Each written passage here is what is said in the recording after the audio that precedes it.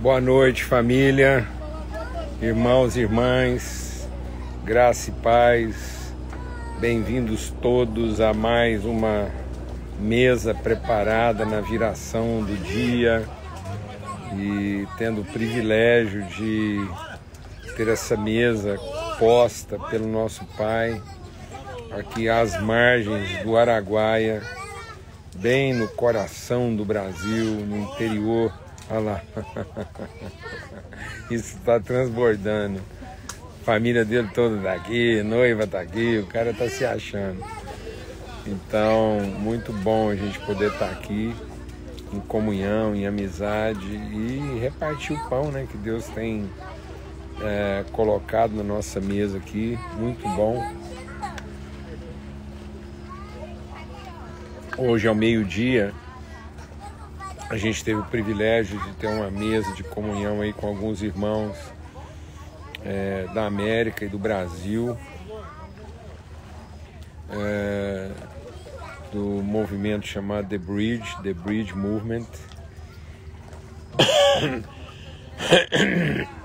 E foi um tempo mesmo assim especialíssimo, tempo de muita edificação, muita reflexão, muito bom mesmo, graças a Deus. E aqui a gente está é, tendo mesa aqui, uma atrás da outra aqui, refletindo sobre o reino, sobre a família, sobre o propósito do Pai e também é, nos preparando aqui em oração e fé para receber todos os irmãos que começam a chegar a partir de amanhã. Então, nós vamos ter aqui um tempo muito especial de retiro, de comunhão, de testemunho, de fé.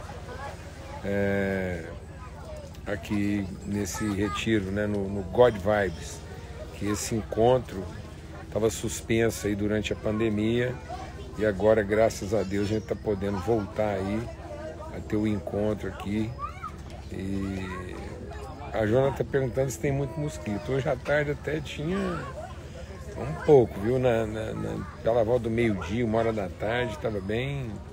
Mas agora não, agora é engraçado. O horário deles aparecerem por aqui parece que mudou. é? Então, se Deus quiser, a Lana está chegando daqui a pouco. A gente está aguardando aqui. É muito bom. Vamos ter uma palavra de oração, colocar nossos corações em Deus e abrir mesmo nosso entendimento para sermos lavados né, pela lavagem de água pela palavra e, e crendo mesmo que o Espírito de Deus é sobre nós, Espírito de sabedoria e de revelação. Então, tá uma boa agitação aqui. E amém. Vamos orar, vamos colocar nossos corações em Deus para mais esse tempo de reflexão aí sobre Gilgal, né? as pedras que precisam ser roladas, né? as pedras que precisam ser movidas. Então, em nome de Cristo Jesus, vamos ter uma palavra de oração. Pai, muito obrigado pelo teu amor, obrigado pela tua graça.